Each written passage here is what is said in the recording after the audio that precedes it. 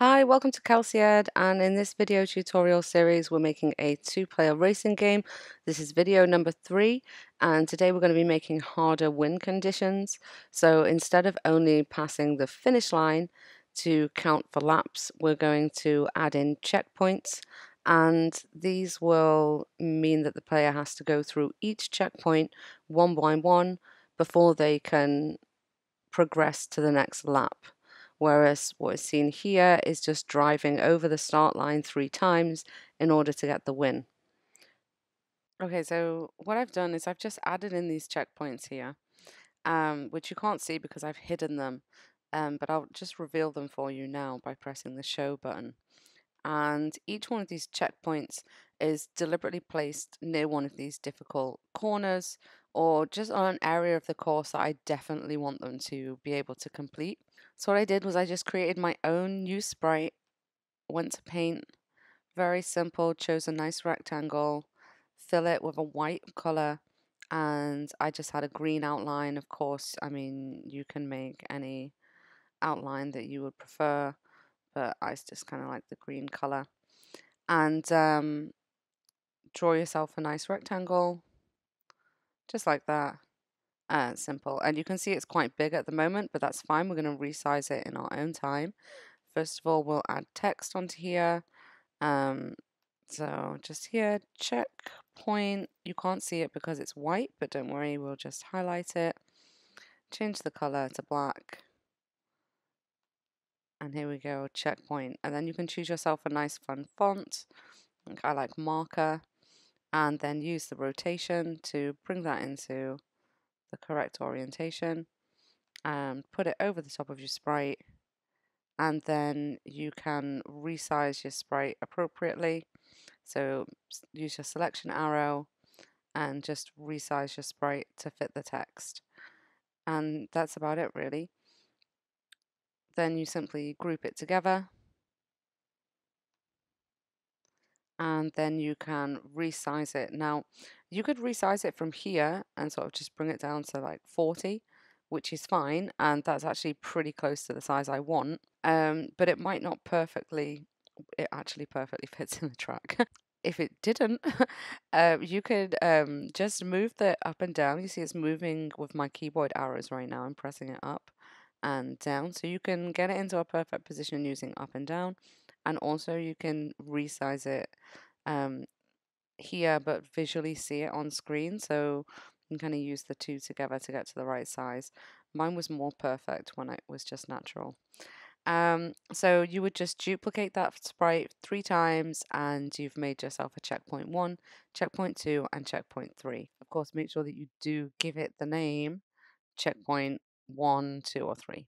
Okay, let's take a look at our current script for winning. So this bit here is our winning. And in order for that to work, uh, first it sets the lap to zero and then it repeats until player one's laps are equal to three. So it's going to do three laps and every time we touch the finish, it will add one. Okay, so that makes sense. Three laps, add one onto the lap each time. Um, and then once we've completed all three of those, so it'll keep going until this condition is met. When we've met all three of those, we've done three laps. So the next time we touch the finish, we win. So in order to complete a lap, the condition would be hitting all three checkpoints, one, two, three, and then hitting the finish line? Well, we know that we can make the program repeat until something happens, but we can also make it wait for something to happen. So if we go into our control section, we actually have a wait until block. And what we're going to do with this one is we're going to say you can't move forward past until the first lap condition is met which would be the first checkpoint. The, the loop will wait until we touch the first checkpoint. So let's get into our sensing and go and take a look at this. So touching checkpoint one. And basically, we're just going to repeat that. So first time it's going to be touching checkpoint one, then it needs to touch checkpoint two, next would be checkpoint three, and finally checkpoint, nope, start finish. So there's our four conditions. Touch this one, touch this one, touch this one, then this one.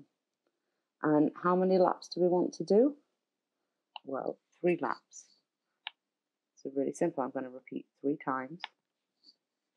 And each time you need to meet all three conditions. So on our original script, we also have our variables. So let's pay attention to those. At the start, we want to set the variable for the player one laps to be zero. So let's copy that also. Set the player one lap to zero. And as soon as we start repeating into the laps, we're going to change the laps by one. So it starts at zero, the game starts and it changes to one. And then every time it laps, so once you hit this start finish, it's going to change the lap again by one. And we're going to do that three times. We've got three laps. Perfect. So if we've completed all of those things, what happens? Well, it's going to say, well done, you're a winner. Okay, so what we'd quite like to do is to test that now. And so I'm going to swap this hat over here. So I've got my event changed. I'm going to just dump all of this um, and see what our new win condition is looking like. Okay, so we've got this new win condition and I want to test it and make sure that it's working. So the first thing I'm going to do is add in some print statements. And I think this will look good in the game, but it's also just the way that I do testing. So by saying something to the screen, by printing, I can just get an indication that it's working. So if I pick him up here and now bring him to checkpoint one um, and just drop him over the top of it, he's now saying hello. So I know that touching checkpoint one is working. So I'm actually going to keep this in here and I'm actually going to have it say checkpoint because that's good information for the player. So each player is going to have a say checkpoint for two seconds every time they go over the line. You make one, duplicate it, and we can drop them in after each of our three checkpoints. So that's immediately going to improve our game because now I can go to this one, although it's not running, so I think I have to rerun my script. Um, so I take this to here, checkpoint one, checkpoint two, checkpoint three, and then a lap. And you can see the lap change to two here. And I do that again. And I can keep doing that for each lap. Did that say checkpoint? And I missed it? I didn't say checkpoint. Does that mean this one didn't checkpoint? Okay. There we go. Lap three. One more time. Let go on the checkpoint. Checkpoint.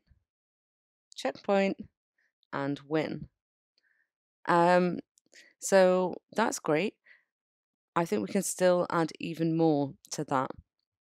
So we have winner at the end, we have checkpoint. Why not also announce the laps? So if I say something again, so we're going to touch start finish, and I'm going to say whatever the current lap is. So what we can actually do here, we could do like this lap one, lap two. But that's not very effective because the lap is going to change every time. So, how do I know which lap it is? Well, instead of choosing a static number like this, what we can do is we can use a variable because it varies, it changes while the program is running. So actually, I could have it say whatever the current lap number is. Um, so if I go and touch the start finish now, well, it would probably help if I run the program first. But if I go and touch on the start finish line now, it did it automatically because the sprite was touching from its start position. But if I go around and just do checkpoint one, checkpoint two, checkpoint 3. When I get to here, it should say the current lap. So it says lap 1. Um, and then it changes to lap 2. So it's not a great place for it to be because it's telling us the wrong lap. So it would actually be better to put this at the very start as the first thing that happens because our lap will start at zero. We'll come directly into the loop and change it by one to become lap one, and then it's going to say lap one. And then the next time it goes around, it's going to get to lap two, and then the next time around, it will say lap three. Now, obviously, that's not great because it just says one or two or three, which one what? It could be anything. So actually, we're going to use um, a concatenation, but in Scratch we call this a join. Um, and it's basically to add two things together and not necessarily numbers. You can put numbers together with a join, but they won't add, they just sit next to each other. So if I actually put inside of here my lap variable, so that will display the number. And so at the moment it would say apple 2 because it's lap 2 and the text is apple. So I'm just going to change that to say lap. I might use capitals. Lap. And then I'll put a space because I want it to say lap space 2, not all one word lap 2. Okay, so now I'm going to pop that in there instead and see what it says about that. So stop it, start it again. Oh, lap one, it's working. Um, now that can do lap one, lap two, lap three. If you want to make it even more, um, you could have the last lap. So lap number three would say final lap. So uh, there's a couple of different ways we can do that. First, I'm just going to take this um, say lap section out of my main block of code because it's starting to get quite full. And um, I'm going to use an if statement, so a selection statement. And if one condition is true, it's going to say the lap number. And if the other condition is true, then it's going to say final lap. So, well, when is it the final lap? Well, it's the final lap when the lap equals 3. So I'm going to use an operator. Um, and I'm just going to say that if the variable lap 1 is equal to 3, then I want you to say final lap. So say, really easy, final lap. Yay. and if it's not saying final lap, then you're just going to say whatever the lap number is. And the great thing about a if statement, conditional statement, only one thing can be true. So only one of these can happen. So if it says lap three, or if it says final lap, it won't say this as well. It will only say this one. And because this won't be true, the first two laps, it will only say this section.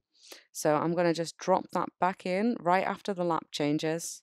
So you've got two really big bits of script in here. We've got one that's changing the lap and telling us about it, and one that's checking the checkpoints and telling us when we get there. So let's test that whole thing now. Um, so we'll run the program again. Here he is at lap one. I'm just going to pick him up for the testing. So it's lap number one. Touch here, checkpoint. Touch here, checkpoint. one more time, checkpoint and hopefully lap number two. Okay, so we've made our way around. I'm such an excellent driver, right? So fast. And finally, final lap. Okay, you might want to test it by driving, but I'm such a bad driver, it would take a long time for me to show you that. Um, so basically, in today's video, we have now completed a new wind condition it's a lot more difficult to win. You have to go through the difficult checkpoints of the course, um, and that will complete one lap condition, and then three laps you can pass and be potentially the winner if you did it faster than player number two. So don't forget to copy all of this across to the player two. And when you do, you need to go through and find all the orange ones. Everything orange will be a variable. So there will be four main variable sections here. You need to set the player two lap to zero, change the player two lap by one, and of course be displaying the player two lap. But the checkpoint, all of these things can stay the same because both sprites will be using them.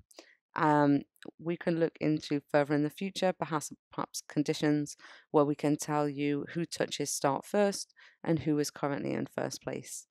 Um, but for today, that is all. Continue watching um, and let me know if there's anything you think we should add to this game.